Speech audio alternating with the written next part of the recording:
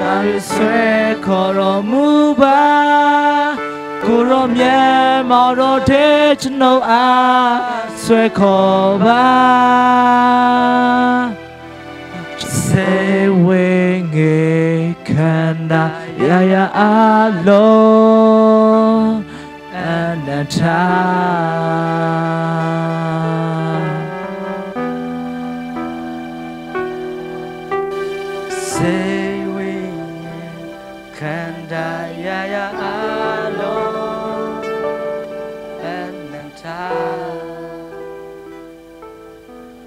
ကောင်းကင်ရှိတော်ဘုရားသခင်ကျေးဇူးတော်ချီးမွမ်းပါတယ်ဘုရားသခင်ဘုရားရှင်မြတ်နာမတော်ချီးမြှောက်ပါတယ်ဘုရားသခင်ဘုန်းကြီးချင်းကိုးကွယ်ခြင်းချီးမွမ်းခြင်းအလုံးစုံကိုယ်တော်နဲ့ထိုက်တန်ပါတယ်ဘုရားသခင်ကျွန်တော်ဒီနေ့ဝတ်ပြုကိုးကွယ်ဖို့ရောက်လာတဲ့သူကိုယ်တော်ရဲ့သားသမီးရောက်ချင်းစီတိုင်းကိုဘုရားသခင်ကျေးဇူးပြုတော်မူပါ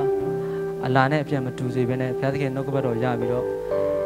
ဝမ်းမြောက်စွာရှင်လန်းစွာနဲ့ပြန်ပြီးတော့အိမ်ပြန်တော့ခွင့်ပြင်ဆင်ပေးတော်မူပါ နှုတ်ကပတ်တော်ကိုဟောကြားပေးမဲ့ဆရာပေါ်၌လည်းကြည်ပြုပြီးတော်မှာဘုရားသခင်သူ၏နှုတ်ရှာပါစေသူ၏ပြင်ဆင်ထားတဲ့အရာသူ၏စက္ကပ်ထားသောအရာပေါ်၌တန်ရှင်းသောဝိညာဉ်တော်ဘုရားသူထည်၍လမ်းပြပေးတော်မူပါအစီအစဉ်စလည်းဆုံးတယ်ကိုလိုရှင်ဘုရားလက်တော်မှာအနံ့တဲ့အခါမှာတပိုက်တော့တာတော့သခင်ရှုမြတ်သောနာမအောင်မြည်ပြုပြီးတော့အလွန်ယူသည်လေးမြတ်စွာပဲဆုတောင်းစက္ကပ်အနံ့ပါ၏။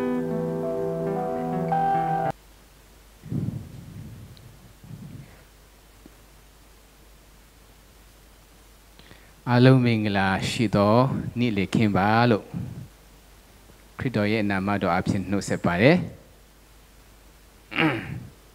မြန်မာစီစဉ်ဆိုတော့မြန်မာလူပြောယုံတာမကောမြန်မာလူဝတ်ဆင်ရတာပေါ့နော်တိုက်ပုံနဲ့ပစိုးနဲ့ဆိုတော့ကျွန်တော်ကတိုက်ပုံနဲ့ပစိုးမဝတ်တာတော့တော်တော်လေးကြာပြီပေါ့နော်ဆိုတော့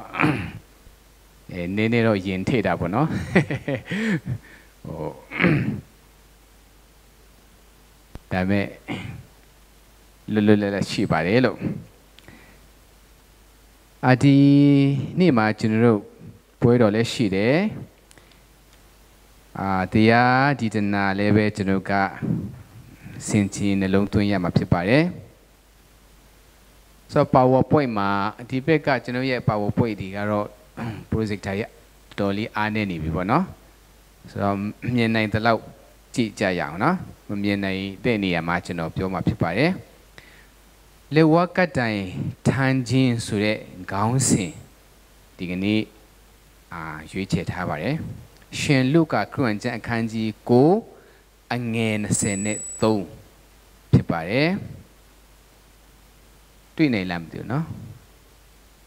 မြင်မြင်ရလားโอเคမြင်ရလို့ရှိရင်အတူတကွဖတ်ကြပါစို့ ထိုမှတပါလူအပေါင်းတို့အားမိန်တော်မူသည်ကားငါ၌စေကပ်လိုသောသူဖြစ်လျင်ကိုကိုကိုငင်းပယ်ရမည်ကိုလက်ဝါကတ်တိုင်ကိုနေတိုင်းထမ်း၍ငါနောက်သို့လက်ရမည်ဖတ်တော်သောနှုတ်ကပတ်တော်အရောက်စီတိုင်းအတွက်ဖျားရှင်ကောင်းချီးပေးပါစေ။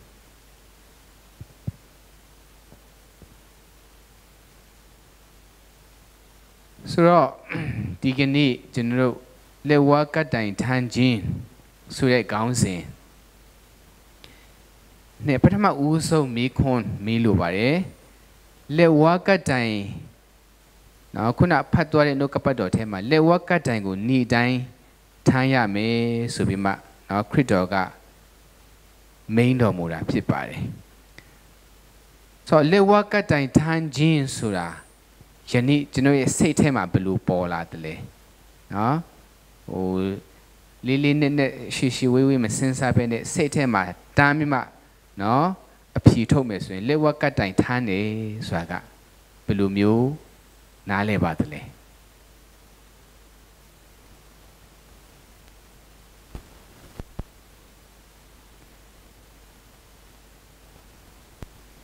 ကျွန်တော် တို့တကယ်တစ်သားနဲ့လှုပ်ထားတဲ့ကားတိုင်းတစ်ခုเนาะသွားတဲ့နေရာတိုင်းမှာထမ်းရမယ်ဆိုတာမျိုးလားကားတိုင်းမှာယေရှုနဲ့အတူတည်ခံအသေးခံတယ်เนาะယေရှုတင်တယ်ကျွန်တော်တို့တခြားဒေသတွေမှာတော့ဘယ်လိုလဲတော့မသိဘူးเนาะကျွန်တော်ချင်းတောင်တို့ဘာလို့သွားတဲ့အခါမှာလက်ဝက်ကတ်တိုင်ပုံเนาะ ပုံမဟုတ်ရုပ်လက်ဝါးကတ်တိုင်နဲ့လှုပ်ထားအဲတစ်တန်းနဲ့လှုပ်ထားလက်လက်ဝါးကတ်တိုင်အရွယ်ဆုံးနော်နေရာဆုံးမှာတွေ့ရတယ်အကြီးကြီးတွေကြတော့ဘယ်မှာတွေ့ရလဲဆိုတော့တောင်ကုန်းတောင်ထိပ်တွေမှာနော်လက်ဝါးကတ်တိုင်စိုက်ထူထားတယ်အဲအလက်စားကြီးကြတော့အိမ်ကောင်မိုးတို့ဘာတို့မှာနော်လက်ဝါးကတ်တိုင်ကိုစိုက်ထားတွေ့ရတယ်တချို့ရွာဒီမှာကြတော့သူတို့ဟို အစင်အလာရပေါ့နော်တချို့စမ်းချောင်းတို့စိမ့်ကြီးတို့ကနတ်ဆိုးတွေရှိတဲ့နေရာလို့သူတို့ထင်တဲ့နေရာရှိတယ်ပေါ့နော်အဲ့ဒီနေရာဒီမှာသူတို့ကလက်ဝါးကတ်တိုင်ကိုတွားပြီးမှစိုက်တဘောကပါလေဝိညာဉ်ဆိုးနတ်ဆိုးတွေမရှိအောင်ဆိုပြီးမှသူတို့ကလက်ဝါးကတ်တိုင်အဲ့လိုမျိုးစိုက်ထူထားတာလည်းတွေ့ရတယ် နောက်တချို့ကလက်ဝါးကတ်တိုင်ဂါးတိုင်ထားတယ်လို့ပြောတဲ့အခါမှာဘယ်လိုမျိုးနားလည်သလဲဆိုတော့ခက်ခဲသောနော်တာဝန်တစ်ခုနော်အင်မတန်မှလေးလံတဲ့ဝန်ထုတ်ဝန်ပိုးတစ်ခုဆောင်နေတယ်ထမ်းရွက်နေတယ်ဆိုရလဲအာငါရဲ့လက်ဝါးကတ်တိုင်ပဲနော်ဥပမာအသင်းတော်မှာပါစာတွေကနော်ဟိုတင်းထောက်လူကြီးတွေကဒါမှမဟုတ် department မှာအသီးသီးမှာ ခေါင်းဆောင်လုပ်ရတဲ့လူတွေကကိုယ့်ရဲ့အသင်းတော်မှာကိုကြရတာဝန်ကိုထမ်းဆောင်ခြင်းဟာလည်းပဲကျွန်တော်ကလက်ဝက်ကတိုင်ထမ်းတာเนาะ bearing the cross เนาะ carrying the cross အဲ့လိုမျိုးလဲကျွန်တော်ကပြောတတ်ကြတယ်အာတချို့တွေကြတော့သူရင်ဆိုင်နေရတဲ့သူ့ရဲ့เนาะ company မှာသူ့ရဲ့လုပ်ငန်းတစ်ခုမှာเนาะရင်ဆိုင်ကြုံတွေ့နေရတဲ့ပြဿနာတစ်စုံတစ်ခုကိုလည်းပဲဒါ this is my cross ပေါ့နော်ဒါငါထမ်းရမယ့်လက်ဝါးကတိုင်ပဲအဲ့လိုမျိုးလဲတချို့ကနော်ပြောတတ်ကြတယ်တချို့ကြပြန်တော့လဲကားတိုင်ထမ်းတယ်ဆိုတာကကိုဘဝတက်တာမှာနော်ဟိုကိုဖျက်အတွက်စက်ကချင်တဲ့အခါမျိုးမှာဟိုဖျက်အတွက်ပေးဆက်ချင်တဲ့အခါမျိုးမှာနော်ပတ်ဝန်းကျင်ကနေစုံစမ်းခြင်းဒီအမျိုးမျိုးဝင်လာတယ်ပေါ့နော်ဥပမာကိုကဒီ နော်မကောင်းတဲ့အကျင့်တစ်ခုမကောင်းတဲ့နော်အစွဲတစ်ခုဖြတ်မယ်လို့တဲ့ခါမှာတငယ်ချင်းကလာခေါ်ပြီးမှလို့ရအောင်ဟဲ့တွားရအောင်ဟဲ့တောက်ရအောင်ဟဲ့စသဖြင့်ပေါ့နော်အဲ့လိုမျိုးစင်ခေါ်မှုဒီဟိုလည်းပဲတခါလေဒါလေဝကတိုင်ပဲအဲ့လိုမျိုးနော်တချို့မိသားစုဒီနောက်တချို့အိမ်တော်မိသားစုဒီတချို့ရဲ့ဘဝတက်တာမှာလည်းပဲနော်အင်မတန်မှဟို ယ်လိုပြောမလဲခက်ခဲတဲ့ယောဂါပေါ့နော်စေဝါမရှိတဲ့ယောဂါမျိုးပေါ့နော်မတိမချင်းနော်ခံစားရမယ့်ဝေဒနာမျိုးခံစားရအခါမှာလည်းပဲ this is my cross အာကျွန်တော်ကားတိုင်းပဲနော်ကျွန်တော်ထမ်းရမယ့်ကားတိုင်းပဲဆိုပြီးမှတချို့ကလည်းပဲပြောတတ်ကြတယ်အာဆင်းရဲတဲ့လူတွေနော်စားစရာမရှိနေစရာမရှိတဲ့လူတွေကလည်းပဲဒါ ငါရဲ့ကားတိုင်ပဲအဲ့လိုမျိုးဆိုတော့တချို့ကအခုပြောတဲ့ဟာမျိုးကဘဝမှာတွေ့ကြုံရတဲ့ဒုက္ခတွေခံစားရတဲ့ဝေဒနာတွေကိုကျွန်ုပ်ကလက်ဝါးကားတိုင်ဆိုပြီးမှเนาะတင်စားပြီးမှเนาะ metaphor metaphorically ပေါ့เนาะတင်စားပြီးမှပေါ်ပြတတ်တာတွေ့ရတယ်ဒါပေမဲ့ယနေ့ကျွန်တော်ဖတ်လိုက်တဲ့ လက်ဝက်ကတိုင်ထမ်းခြင်းဆိုတဲ့ကြမ်းချက်အနေနဲ့ကြည့်မယ်ဆိုရင်အခုကျွန်တော်ပြောနေတဲ့ခက်ခဲတဲ့တာဝန်တစ်ခုပြဿနာသစုံတစ်ခုเนาะစုံစမ်းခြင်းအမျိုးမျိုးเนาะယောဂခံစားရခြင်းเนาะဆင်းရဲခြင်းဘဝမှာတွေ့ကြုံရတဲ့ခါးသေးတဲ့အရာတွေဟာเนาะယေရှုခရစ်တော်ဆိုလိုတဲ့ဂါးတိုင်မဟုတ်ဘူးစာကိုဒီကြမ်းချက်ကိုဖတ်ခြင်းအပြင်တွေ့ရပါတယ်မြင်ရပါတယ် သခင်ယေရှုပြောတော်လေဝကတိုင်ကပါလေနော်အဲ့ဒါကြည့်တဲ့အခါမှာတူတူတုတ်တုတ်နဲ့ဖြေရမယ်ဆိုရင်နော်ခုနကဟိုကျွန်တော်တင်းတော်လူကြီးဥပဒါကပြောပြီးသွားပြီလေဝကတိုင်ထမ်းခြင်းဆိုတာဟာယေရှုခရစ်တော်နဲ့ဤတိုင်းအသေးခံခြင်းဖြစ်တယ်အင်မတန်မှမှန်ကန်ပါတယ်အခုခေတ်မှာတော့ကျွန်တော်ကကားတိုင်ကြတော့နော်အလှအပ နော်ဂုံတိတ်ခါဒါမှမဟုတ်နူးငင်းခြင်းဒါမှမဟုတ်ပစ္စာရှိခြင်းဒါမှမဟုတ်နော်တန်ဖိုးရှိတဲ့ပုံစံတစ်ခုအနေနဲ့အမတ်တရအနေနဲ့ကျွန်တော်ကတင်ထားတတ်ကြတယ်နော်ဘယ်မှာလက်ဝက်ကတိုင်ပုံလေးတွေချိန်ထားတတ်တယ်လဲနော်ဒီဘယ်မှာလဲ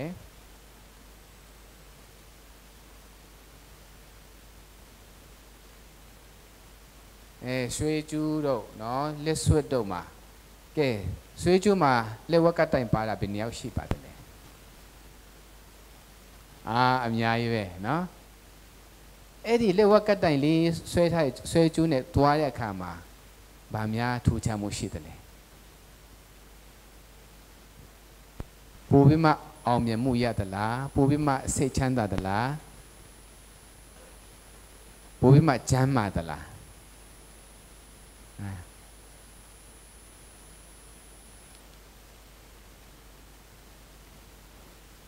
ဟိုလမ်းမပေါ်မှာအော်ဈေးဈေးတယ်တွေကနော်ကားတိုင်ပုံလေးတွေရောင်းတဲ့ခါမှာနော်အဲကလေးပုံပါတာက9000ကလေးပုံမပါရင်တော့3000အဲ့လိုမျိုးပေါ့နော်ကလေးပုံပါတဲ့ကားတိုင်နဲ့ကလေးပုံမပါတဲ့ကားတိုင်နဲ့နားမလဲတဲ့လူတို့တော့ဘာမှမထူးကြဘူးပေါ့ဟောဒီကနေ့ယေရှုခရစ်တော်ရဲ့အချိန်တုန်းကကားတိုင်ဆိုတာကအခုလို အလှအပတစ်ခုနေနဲ့ချစ်စရာနော်တင်ဂီတတစ်ခုနေနဲ့မရှိခဲ့ပါဘူး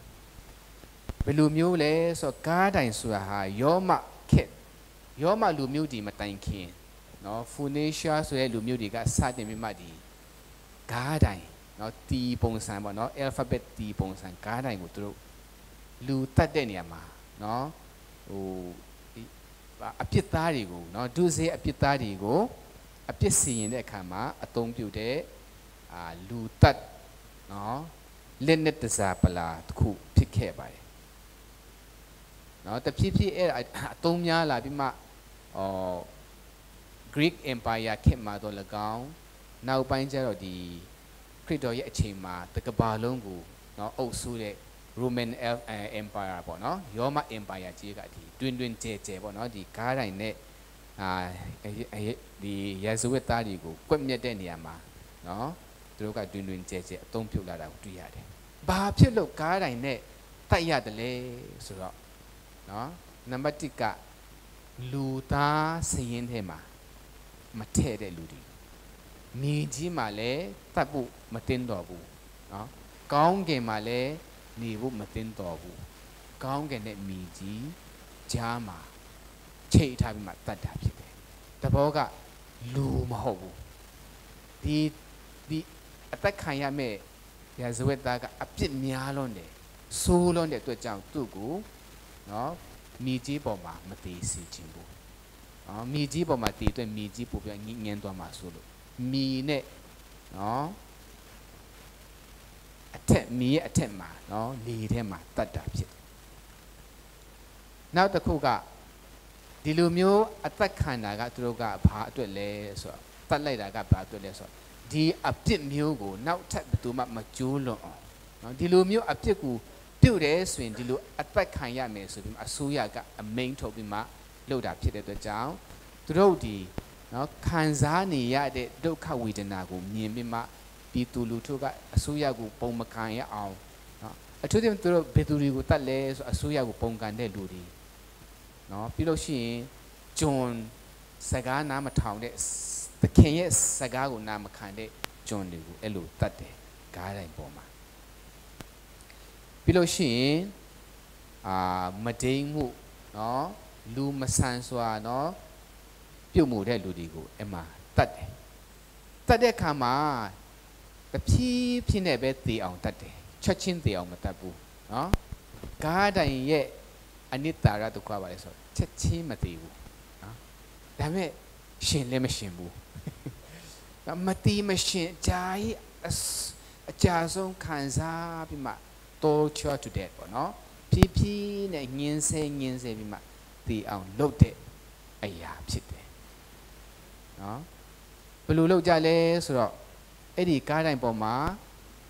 တတ်တဲ့အခါမှာအဲချိတ်တဲ့အခါမှာချက်ချင်းမသေအောင်သူတို့ကဟို ချက်ချင်းသေမဲ့နေရာတွေကိုသူတို့ကဟိုဒဏ်ရာမပေးဘူးเนาะအရင်ဆုံးဘယ်လိုလုပ်လဲဆိုတော့ကားတိုင်းမှာအသက်ခံရမဲ့လူကနော်အရင်ဆုံးဘာလို့သူတို့ကဘာလို့လဲဆိုတော့စူးကြပွက်နဲ့39ချိန် နော်အပြစ်ပေးရတယ်တန်ခတ်တယ်ပေါ့နော်ဒီတပီလောက်ရှိတဲ့လက်ကင်တုတ်ပေါ့နော်တပီလောက်ရှိတဲ့အဲ့နောက်မှာအဲ့တုတ်ရဲ့အထိတ်မှာပေါ့နော် ဟိုတရီနဲ့လှုပ်ထားတဲ့ကျူးเนาะတရီကျူးကူးချောင်းပါတယ်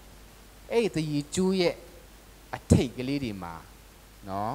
ဟိုအင်မတန်မှမာကြောတဲ့ဂဲလုံးလေးတွေဒါမှမဟုတ်ဒီတန်လုံးလေးတွေပေါ့เนาะဆိုးလေးတွေထည့်ပြီးမှအဲ့ဒါနဲ့ဒီ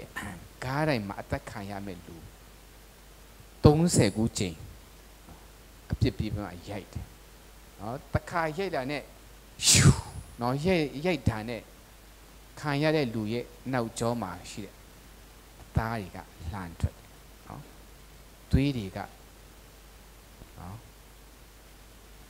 ဖြာထွက်30ခုချိန်အရိုက်ခံရပြီးမှဂားတယ်မှာဂားတယ်မှာတင်တယ်ပေါ့နော်ဆိုတော့ဒီလိုမျိုးအသေးဆိုးအရက်စစ်ဆုံးတဲ့အသက်ခံရခြင်းဟာဂားတိုင်ဖြစ်ပါတယ် အဲ့ဒါကြောင့်ဒီအဲ့ဒီခေတ်တုန်းကယောမအစိုးရရဲ့သမိုင်းပညာရှင်တပါးဖြစ်တဲ့စေစေရိုဆိုတာရှိတယ်စေစေရိုစေစေရိုကဘာရေးလဲဆိုတော့ကာဟတိုင်ဆိုတာဟာယောမလူမျိုးတွေရဲ့အရက်စစ်ဆုံးအကျဉ်းတန်းဆုံးနဲ့ကြောက်စရာကောင်းဆုံးနော်သေတံပေးခြင်းဖြစ်တယ်ယောမလူသားယောမအမျိုးသားတယောက်အနေနဲ့တော့အဲ့လိုအဲ့မှာမသေးချင်ဘူးပေါ့နော် သူတို့ဂျွန်ဒီစကားနာမထောင်တဲ့တပုံဒီဓမြတွေပဲတတ်တာအဲကြောင့်ယောမလူတယောက်အတွက်နော်ကားတိုင်ဆိုတဲ့စကလုံးဟာကားတိုင်ဆိုတဲ့အရာမြင်ဖို့မပြောနဲ့ကားတိုင်ဆိုတဲ့စကလုံးတောင်မှနော်နားနဲ့မကြားချင်ဘူးအဲ့လောက်တောင်မှနော်ယောမ citizenship ဆိုရင်တော့သူတို့က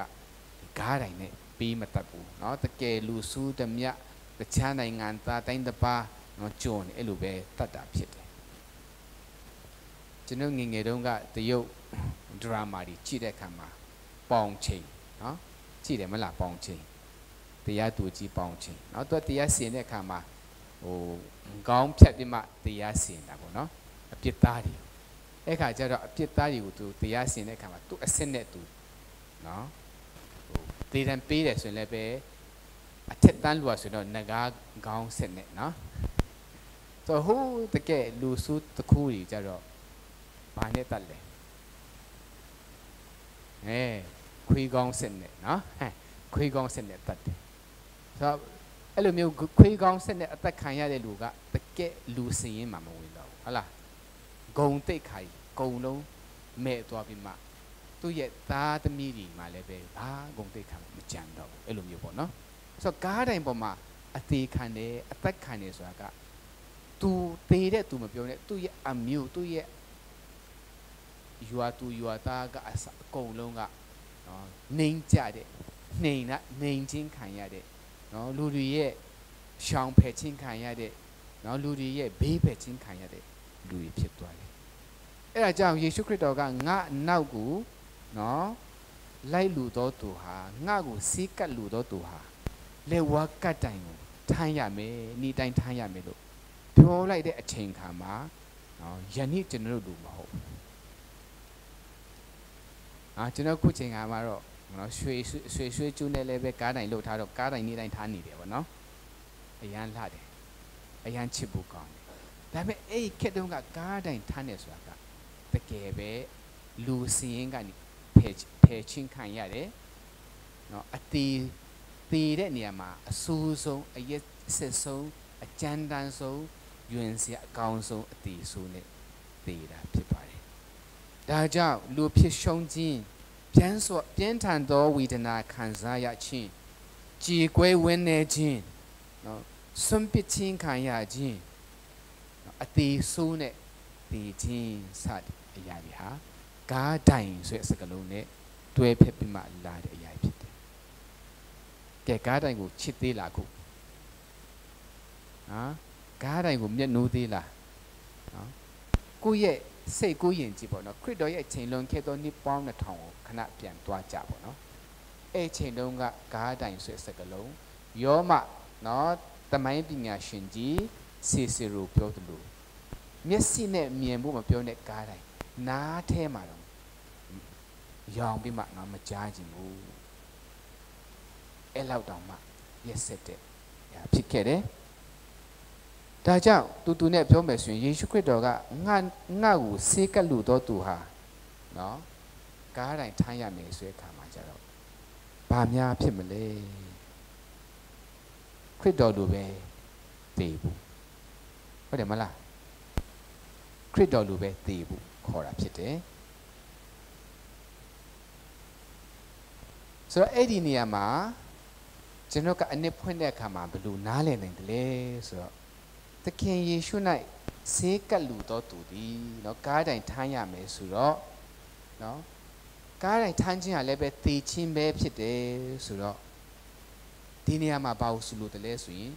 မိမိလူကျင်သောအရာများเนาะမိမိနှစ်သက်သောအရာများเนาะမိမိတန်ဖိုးထားသောအရာများเนาะမိမိအတ္တအကျိုးပေါ့เนาะအဲ့ဒီဟာနဲ့ယေရှုခရစ်တော်ကိုလဲလေရဖြစ်တယ် အယောင်းအဝယ်သဘောပေါ့နော်ခုမှဒေါ်လာရှိတယ်နော်သူ့မှာမြန်မာငွေရှိတယ်ကိုကမြန်မာငွေလူချင်းတယ်ဆိုရင်ခုဒေါ်လာကိုပေးရဒါမှမဟုတ်ကိုကမြန်မာငွေရှိတယ်ဒေါ်လာဝယ်ခြင်းတယ်ကိုရဲ့မြန်မာငွေကိုပေးပြီးမှဒေါ်လာရသူနည်း၎င်းပဲခရစ်တော်ပြောတဲ့အသက်တာခရစ်တော်ပြောတဲ့ထာဝရအသက်ခရစ်တော်ပြောတဲ့ကြွယ်ဝသောအသက်တာကိုအမှန်တကယ်လူချင်းတော့ ကျွန်ုပ်တို့မှာရှိတဲ့အတ္တကျွန်ုပ်တို့မှာရှိတဲ့ကူကျူးကျွန်ုပ်မှာရှိတဲ့နော်လူချင်းတဲ့မျက်နှိုးတဲ့အရာမှန်တမျက်နဲ့လဲမှရမယ်ဆိုတာအဲ့ဒါကလွယ်သလားလွယ်မြထင်လားမလွယ်ဘူးမလွယ်တဲ့အတွက်ကြောင့်ခရစ်တော်ကနော်ပြောရတာပေါ့ မလွယ်တဲ့အတွက်ကြောင့်ကားတိုင်းမှာတတ်ခံရတာကခုနပြောသလိုနာကျင်ချင်းဝေဒနာခံစားရခြင်းဆုံးရှုံးခြင်းကြည်ကွဲခြင်းရှိတယ်လို့ပြောတဲ့အတိုင်းပဲเนาะယေရှုခရစ်တော်နဲ့ကျွန်တော်ရဲ့လူချင်းတဲ့အရာတွေကိုလဲလိုက်တဲ့အခါမှာကျွန်တော်ကဘာခံစားရမလဲဘာကြုံတွေ့ရမလဲဆိုတော့ကားတိုင်းမှာအသက်ခံရတကယ်တော့နာကျင်ချင်းခံစားရနော်ဆုံးရှုံးတယ်လို့လည်းခံစားရကြည် ကွဲတယ်လို့လည်းခံစားရ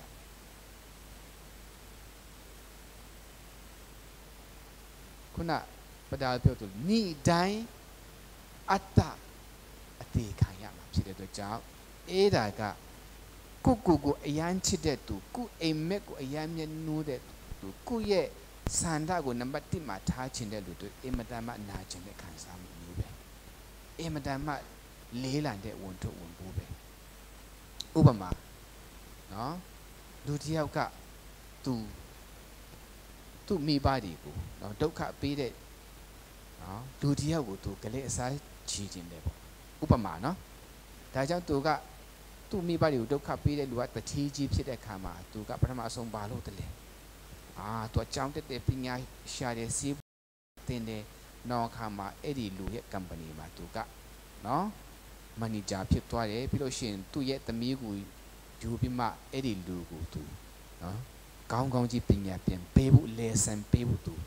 ပြင်နေတယ်ပေါ့နော်။အဲကိုရီးယားဇက်လန်လိုဖြစ်သွားတယ်။အဲ့လိုမျိုးသူကြိုးစားတယ်တစ်သက်လုံးပညာသူသင်ကြားသမျှနော်သူစာမျက်နှာစာဖတ်တဲ့အခါမှာအဲ့ဒီလူဆိုရဲ့မျက်နှာပဲမြင်ရောက်တယ်။နော်သူစာမြေပွဲဖြေတဲ့အခါမှာအဲ့လူလူဆိုရဲ့မျက်နှာပဲမြင်ရောက်တယ်။နော် သူအလုတ်လျှောက်တဲ့ခါမှာလည်းပဲအဲ့ဒီလူစုကိုဒုက္ခပေးမယ်ဆိုတဲ့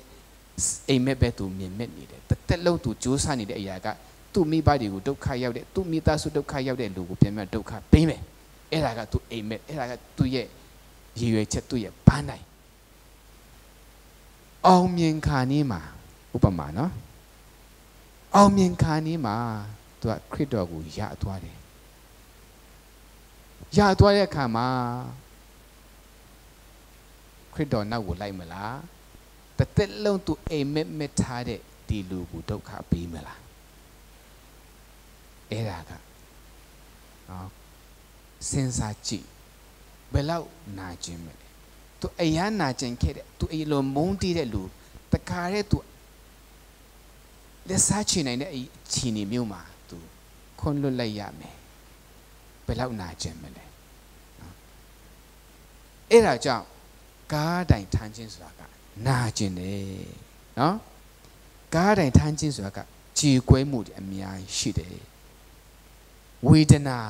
ခံစားရတယ်အတ္တကိုနေ့တိုင်းသိခိုင်းရမယ်မိမိရဲ့လူအင်စန္ဒမိမိလူချင်းတဲ့အရာကိုဖယ်ပြီးမှ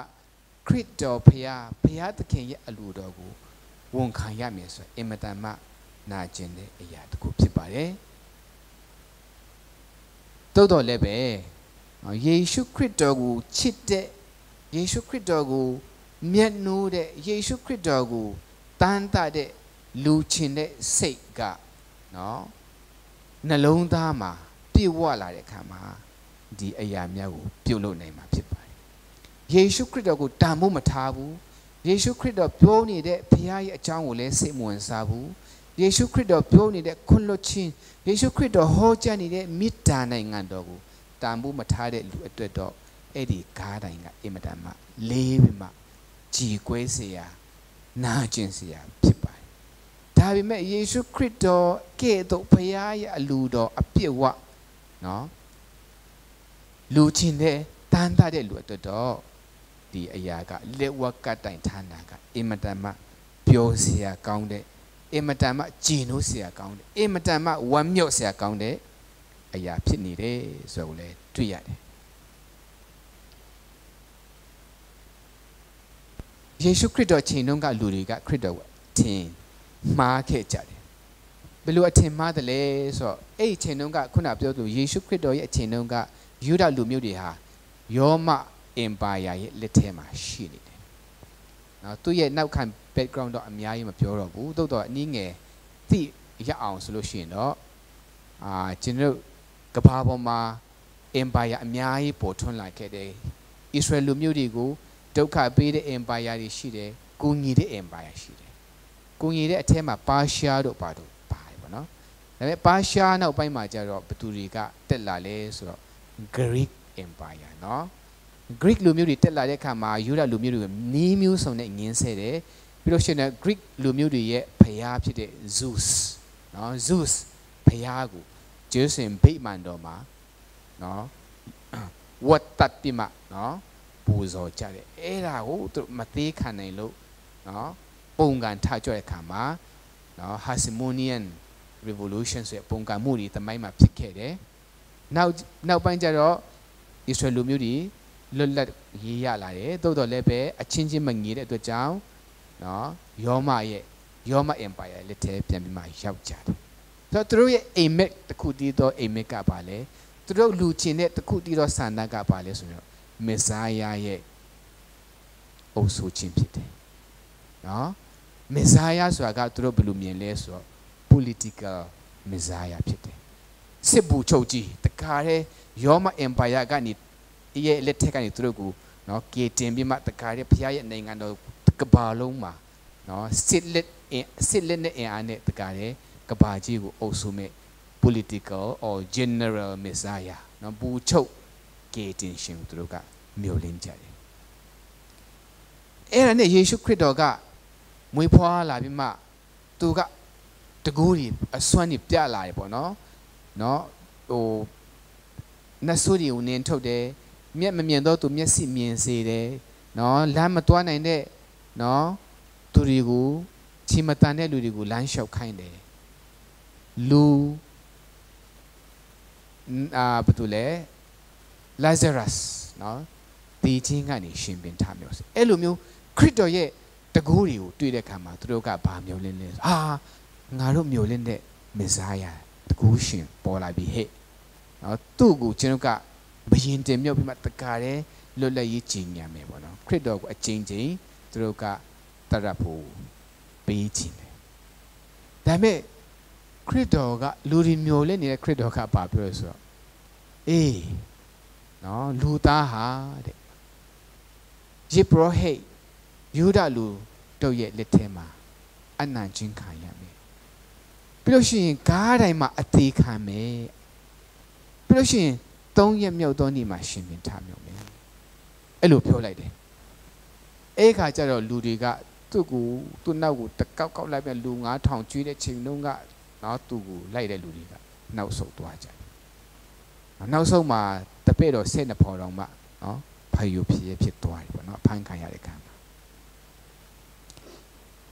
ဆိုဒီနေရာမှာလူတွေကယေရှုခရစ်တော်ကို political messiah စစ်ဘူချုပ်ကြီးနော်တမန်တော်တပည့်တော်စိတ်နှပေါ်ထဲမှာနော်ဂျင်းအာ James တို့ငယ်ကိုကလည်းပဲတောင်းသေးတယ်ပေါ့နော်ခရစ်တော်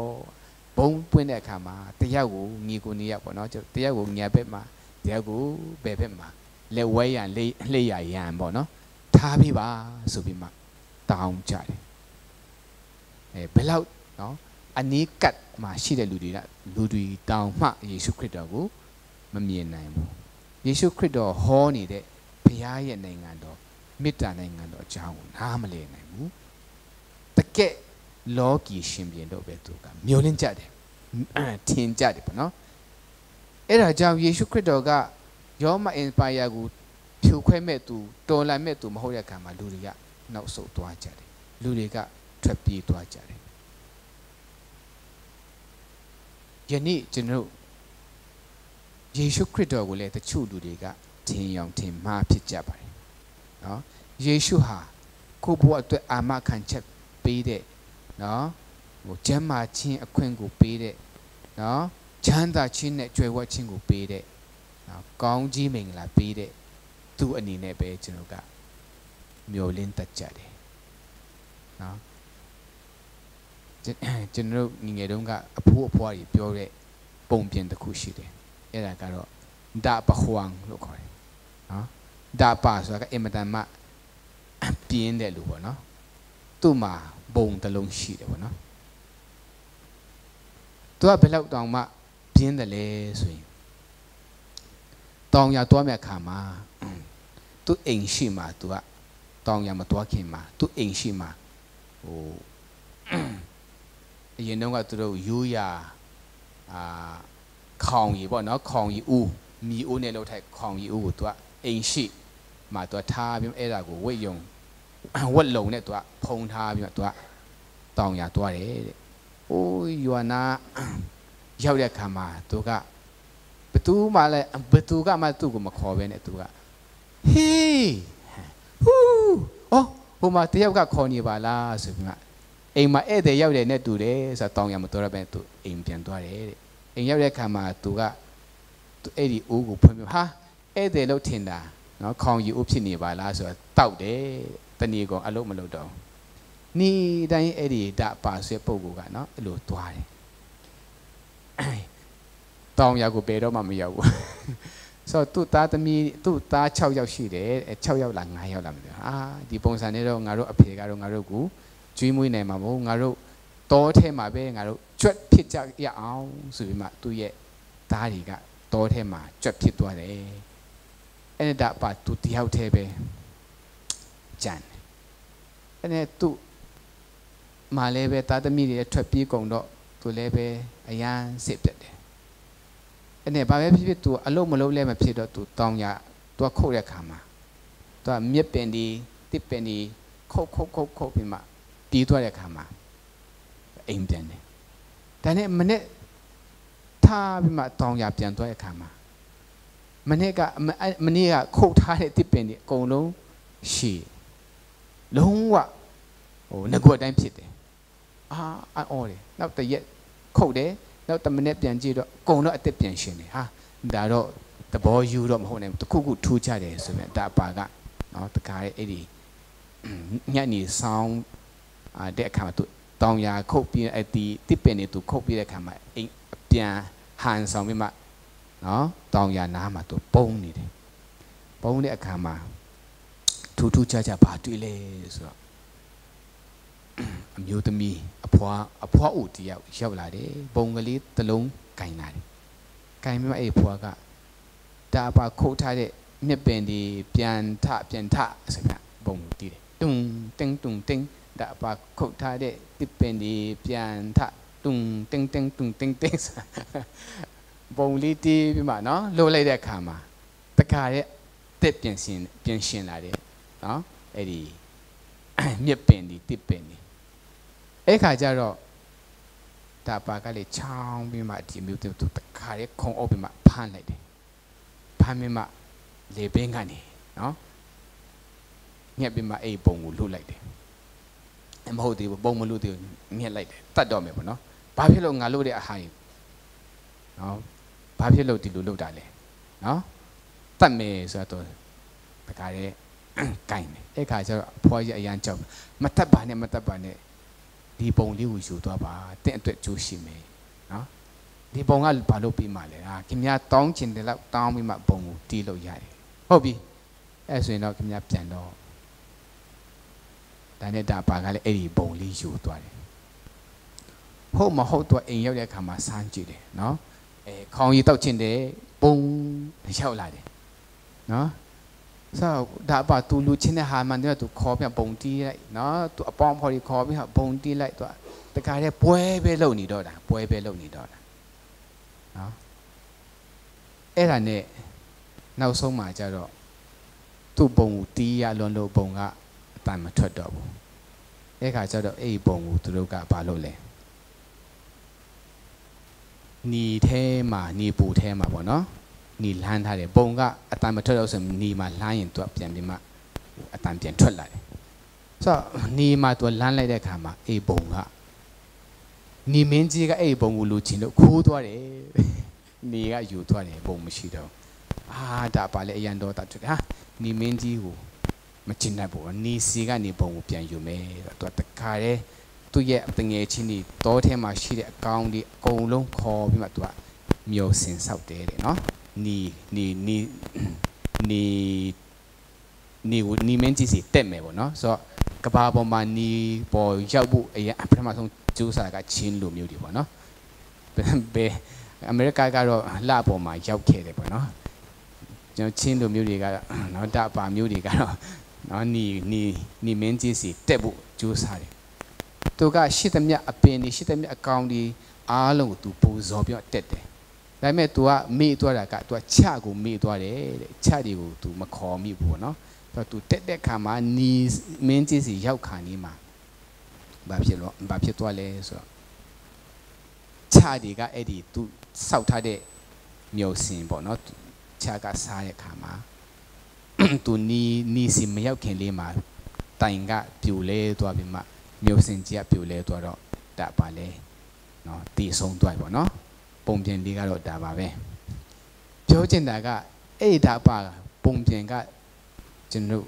ယူရတဲမှာတော်တော်လေးလွဲမှုတယ်ယေရှုခရစ်တော်ကိုကေတင်ပိုင်ရှင်အဖြစ်ယုံကြည်လာတဲ့အခါမှာနော်ကျွန်တော်ငယ်ငယ်တုန်းကတချင်းတောင်ရှိပါတယ်ယေရှုခရစ်တော်ကကျွန်တော်ရဲ့ဒါပခွန်နော်အဲ့လိုမျိုးဆိုကြတယ်ခရစ်တော်ကိုကျွန်တော်က လူချင်းတဲ့ဟာကိုခေါ်ပြပုံတီးပြီးမှဟလာလူချင်းတဲ့ဟာကိုပေးတဲ့အရာလို့တွားထင်တယ်ပေါ့နော်ကြွယ်ဝချင်းချမ်းသာချင်းအောင်မြင်ချင်းဒါပေမဲ့ဒီကျမ်းစာကိုလေးလေးနက်နက်တွားဖတ်တဲ့အခါမှာဆန့်ကျင်ပဲဖြစ်တယ်ယေရှုခရစ်တော်ကကြွယ်ဝချင်းအတွက်ချမ်းသာချင်းအတွက်အောင်မြင်ခြင်းအတွက်ပထမခေါ်တာမဟုတ်ပထမခေါ်တာကဘာလဲပေးဖို့ရအတွက်ဖြစ်တယ်ဘာပေးရမလဲ ကိုယ့်ရဲ့အတ္တကိုနော်ကိုယ့်ရဲ့အတ္တကိုပေးခိုင်းတယ်ကိုယ့်ရဲ့လူချင်းတဲ့အရာကိုယ့်ရဲ့နော်တန်ဖိုးထားတဲ့အရာတွေကိုအရင်ဆုံး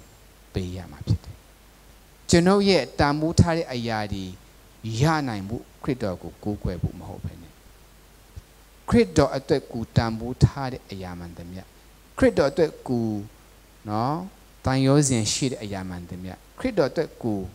နော်ကိုမှရှိတဲ့အရာရှိသမျှအရာကိုပေးပွင့်အတွက်ခရစ်တော်ကအရင်ဆုံးဖိတ်ခေါ်ထားတာဖြစ်ပါတယ်။ဒါကြောင့်လက်ဝက်ကတိုင်ရဲ့စင်ခေါ်ခြင်း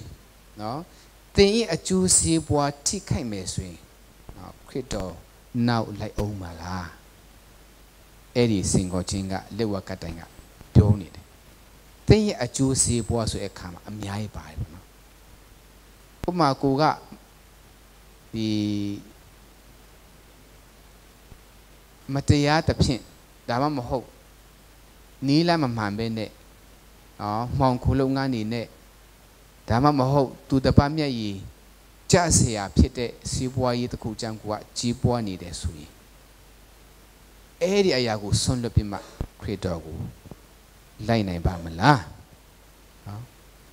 သင်ချစ်ခင်သောသူတွေနဲ့ဝေးကွာရမယ်ဆိုရင်ခရစ်တော်နောက်လိုက်အောင်ပါလားနော်အခုခေတ်မှာတော့ကျွန်တော်က ခရိယအတိုင်ဝဲဆိုတော့အများစုကနော်တိတ်တော့စိန်ခေါ်မှုမများဘူးတိုးတော်လည်းပဲသာသနာပြုဆရာကြီးတွေလာတုန်းကနော်ရိုးရာနတ်ကိုးကွယ်ခြင်းကနေခရိယံဖြစ်သွားတယ်လို့တကယ်ပဲအမျိုးဒီအလုံးဆုံးရှုံးရတယ်ပေါ့နော်ကျွန်တော်ဒီသာသနာကွင်းတွေမှာကျွန်တော်ကိုယ်တိုင်ကျွန်တော်ကိုယ်တိုင်ပဲ ဟိုတွေ့ကြုံခဲ့ရရပါလဲဆိုအာကျွန်တော်ကေတင်ချင်းတရင်ကောင်းကိုတော့ပြောတယ်ပြောတဲ့အခါမှာတော့သွားလဲဒါပေမဲ့ကျွန်တော်ကနှစ်ချင်းခံလိုက်လို့ရှိရင်အခုကျွန်တော်စီးပွားနော်ဝမ်းစာရှာနေတဲ့ကျွန်တော်စိုက်ကားကကျွန်တော်အမျိုးတွေကငားထားတာကျွန်တော်နှစ်ချင်းခံရင်စိုက်ကားသိမ့်ခံရမယ်အဲအဲ့မှာစိန်ခေါ်မှုတွေကတက်လာတယ် ကိုယ့်ရဲ့အကျိုးစီးပွားဒါမှမဟုတ်ကိုချစ်ခင်သောသူတွေနဲ့ဝေးကွာရမယ်ဆိုရင်ခရစ်တော်နောက်လိုက်အောင်ပါလားနော်အဲ့ဒါကကားတိုင်းပြောနေတဲ့စင်ခေါ်ခြင်းတွေဖြစ်တယ်သင်ဤဝါဒနာတစ်ခုကိုဆွန့်လွတ်ဖို့လိုအပ်လာရင်ကားတိုင်းထားမလားခရစ်တော်ရဲ့နောက်ကိုလိုက်အောင်ပါလားနော်ကျွန်တော်လှုပ်ချင်တဲ့ဟာကဘောလုံးသမားဖြစ်ခြင်းပဲဒါမှမဟုတ်ကိုလှုပ်ချင်တဲ့အဟာအရာက နော် musician တယောက်ဖြစ်ခြင်းပဲ rock အဆူတော်တယောက်ဖြစ်ခြင်းပဲတော်တော်လည်းပဲကိုယေရှုခရစ်တော်နဲ့တွေ့လိုက်တဲ့အခါမှာနော်ဒီအရာတွေကိုကိုဆွန့်လွတ်နိုင်မလားသူ့အတွက်နော်ဆိုလိုချင်တာကကိုလှုပ်ချင်တာကိုမလုပ်ရဘူးဆိုတာမဟုတ်ဘူးကို vision ရှိတဲ့ဟာတွေမလုပ်ရတော့ဆိုတာမဟုတ်ဘူးဒါပေမဲ့ number 1အနေနဲ့အဲ့ဒီနေရာအဲ့ဒီအရာတွေထက်နော်ခရစ်တော်ကို number 1မှာထားမယ်ဆိုရင်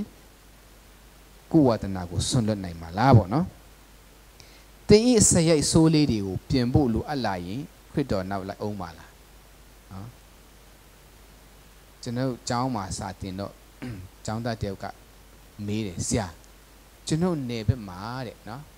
ဆရာတယောက်ရှိတယ်တရားဟောတာလည်းအရန်ကောင်းတယ်နော် तू က camp ဒီမှာ तू တရားဟောရင်လည်းပဲနော်လူတွေအများကြီးပြောင်းတယ်ဒါပေမဲ့အဲ့ဒီဆရာက ဘာသူ့မှာအကျင့်တစ်ခုကဘာလဲဆိုလို့ရှိရင်တော့ तू တွားတဲ့ तू ခရီးတွားရင်အဲ့ဒီ तू တဲတဲ့အိမ်တိုင်းမှာ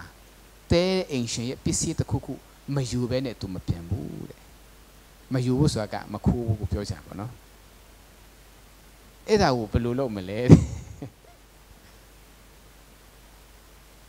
အဲ့ဒါမျိုးတွေဆိုတော့တကယ်ဖခင်ကခုကိုတုံးနေတယ်တုံးနေမှလည်းတည်တယ်တိုးတော်လည်းပဲခရစ်တော် နဲ့မထိုက်တန်တဲ့ကိုယ့်ရဲ့အချင်းတွေကိုကိုဆွန့်လွတ်ဖို့လိုအပ်လိုက်ရင်ဆွန့်လွတ်နိုင်မလားကိုယ့်ရဲ့ဆရိုက်ဆိုးလေးတွေ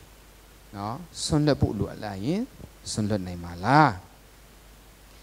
အရေးကြီးဆုံးကတော့တင်းရဲ့အတ္တစိတ်ကိုဆွန့်လွတ်ခိုင်းမယ်ဆိုရင်ခရစ်တော်နောက်လိုက်အောင်မလားပေါ့နော်အဲ့ဒါကကားတိုင်ရဲ့အစဉ်ခေါ်ခြင်းဖြစ်ပါတယ်ဒီကနေ့ကျွန်တော်ကျမတို့ရောက်စီတိုင်းမှာ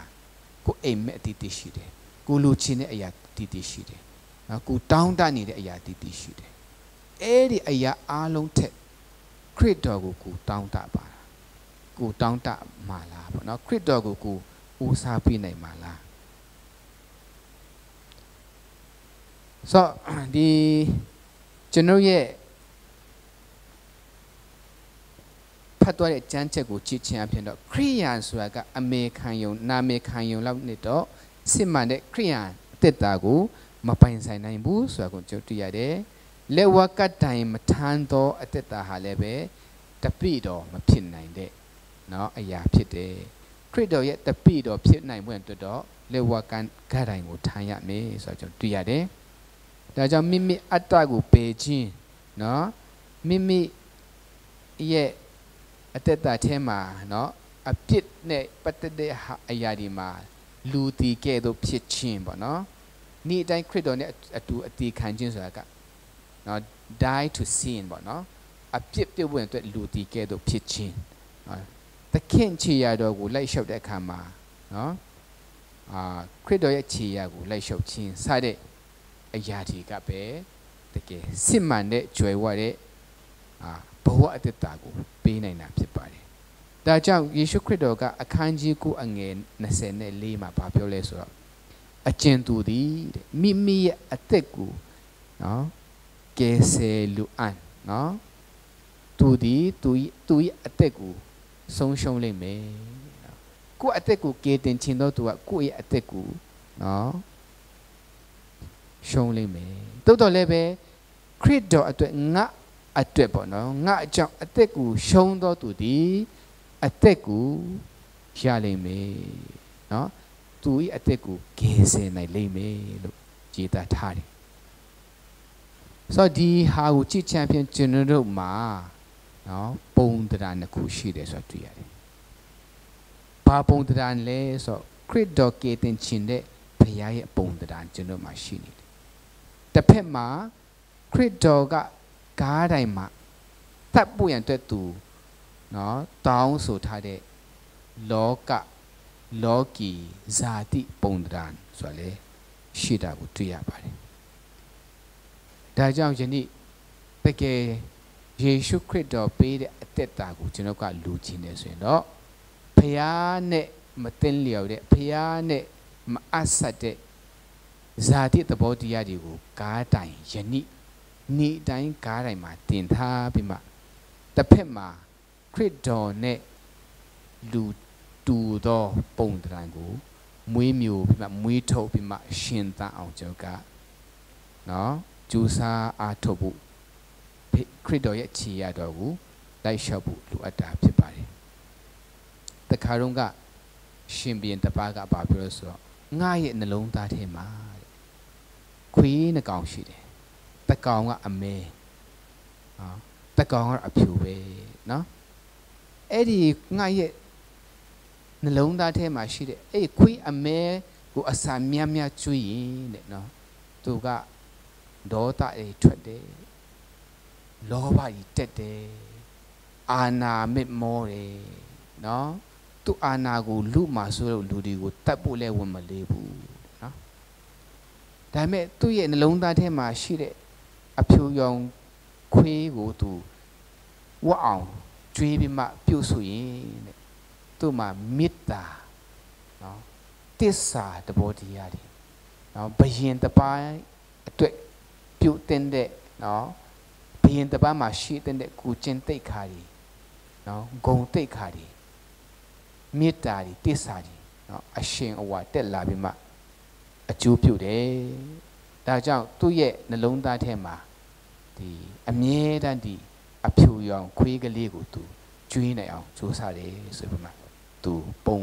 ပုံပန်းအဲပုံပုံဆောင်ပြီးမှဖော်ပြခဲ့ပါတယ်သူနည်း၎င်းပဲယနေ့ကျွန်တော်ခရစ်ခရစ်အသက်တာမှာနော်ခရစ်တော်ကကားတိုင်းမှာတင်ဖို့ပြောတဲ့ခွေးအနက်အရောင်ကဲ့သို့တော့ဟလားမောဟဒေါသလောဘတွေပေးနိုင်တဲ့သဘောတရားစိတ်နေသဘောတရားရှိပါတယ်အတ္တ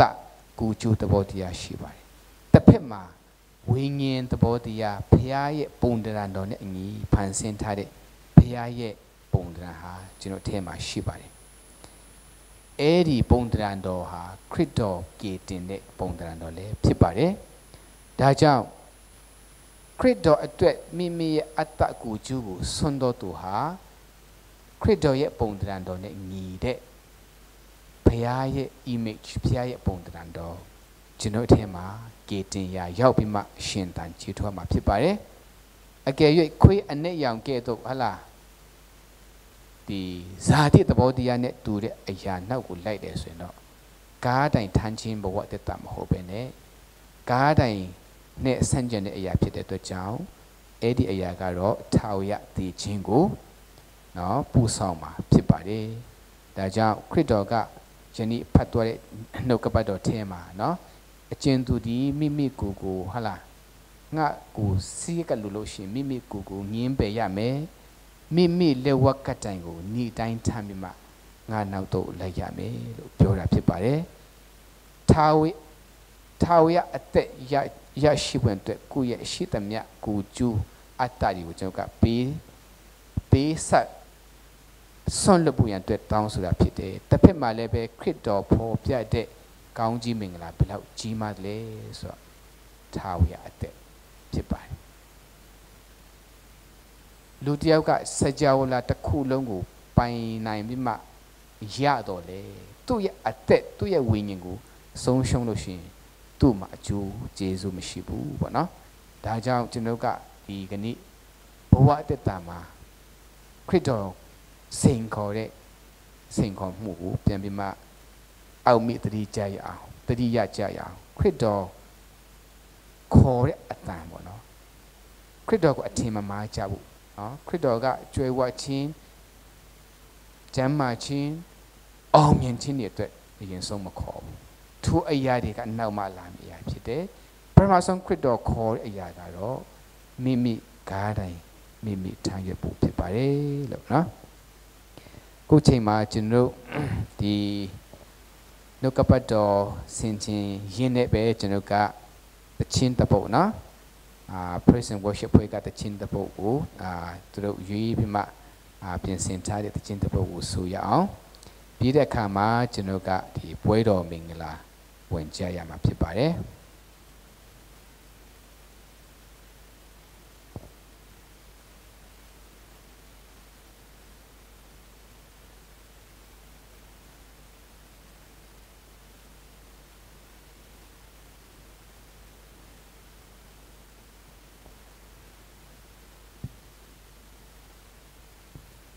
ကျွန်တော် musician များအားလုံး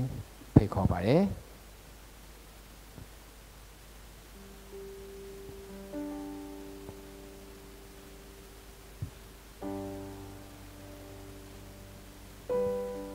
ကျွန်တော် give thanks တခြင်းဆိုရင်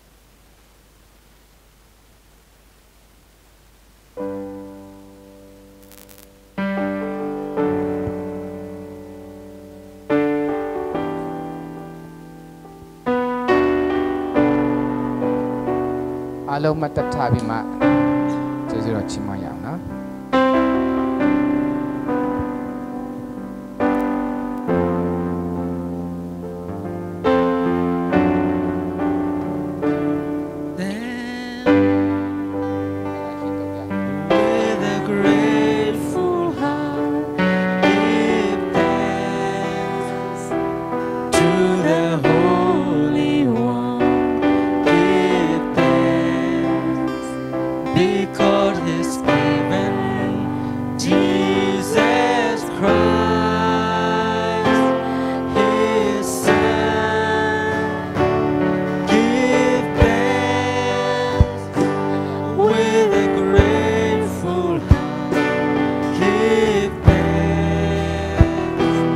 to the Holy